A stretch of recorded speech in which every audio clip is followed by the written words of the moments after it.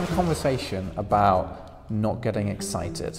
Is there advice? Is it if you're getting excited, you're here for the wrong reasons and you need to get out? If uh, if you find yourself getting a little swollen down below inadvertently, uh, then the advice is to be discreet.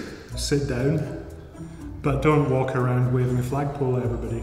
I think that explains some of the public misunderstanding about naturism is they assume there's a sexual element to it which isn't there.